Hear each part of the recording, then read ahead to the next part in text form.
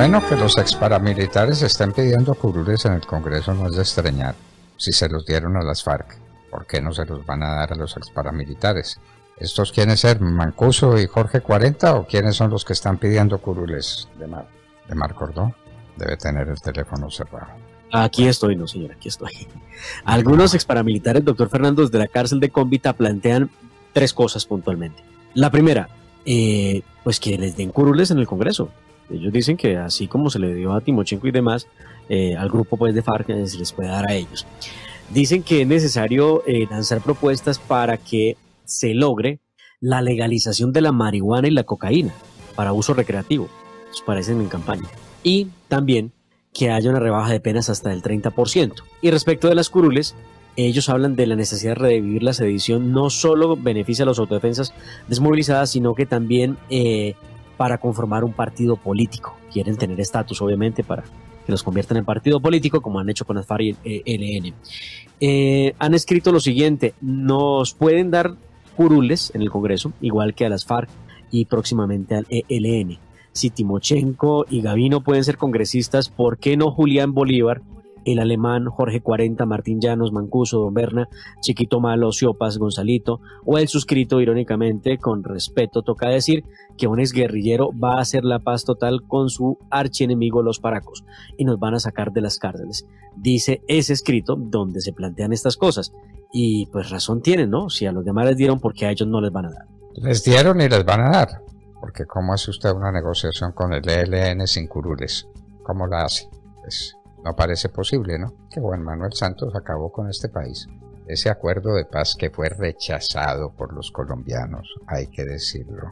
Gustavo Petro está maldiciendo al pueblo de Chile porque tomó una decisión libre en un plebiscito eh, que ganó eh, la derecha por una diferencia eh, monumental. La critica, porque claro, él tiene que recordar cómo en Colombia se dio un plebiscito que ganó la derecha. Se dice que por muy poco tenemos graves dudas sobre lo que fue esa votación, gravísimas dudas. Creemos que se ganó por mucho, pero en todo caso se ganó y ha debido respetarse. Y eso no se respetó.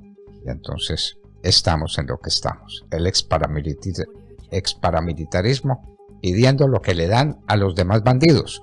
Que además esto esto parece muy en serio porque ya están invitando al clan del Golfo y a otros grupos de bandidos a que entren en conversaciones de paz, la paz total.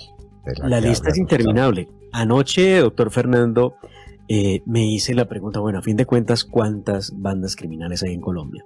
Pues puede ser que la cuenta no exista en, ah. en cifras exactas porque hay una cantidad de derivaciones que sale de cada una de estas. Las que voy a mencionar tiene cada una entre 5, 7, 8 hasta 11 eh, derivaciones de, grupos eh, criminales. Está FARC disidencias, eh, que llaman disidencias, ELN, Caparros, Clan del Golfo, Pelusos, Puntilleros, Costeños, Pachenca, La Constru, Gran Alianza, Cordillera, Rastrojo, Chatos. Y a cada uno de esos, póngale usted entre 5 y 10 facciones. Se le olvidó Pacelli. Los Pacelli, ¿sí? Sí, recuerden que hablamos del, del cardenal Pacelli, que fue Pío XII y que estos bandidos se tomaron el nombre. Pacheli se le olvidó, póngalo en la lista. Sí, señor, los Pacheli, sí, señor. Los Pacheli. lo pongo Muy bien. Pues usted se pone a mirar y entonces tiene usted eh, dos, cuatro, oh caramba, tiene como 14 grupos criminales en Colombia. De a 10 curules son 140 curules en el Congreso de la República de las 296 posibles. Caramba. No va a quedar espacio para que alguien represente a los colombianos que no han cometido crímenes en Colombia. Bueno, eso es lo que sucede pues. Y ahí está, el ELN ya instalado en Cuba, esperando que le lleguen sus eh, eh, negociadores que son ellos mismos.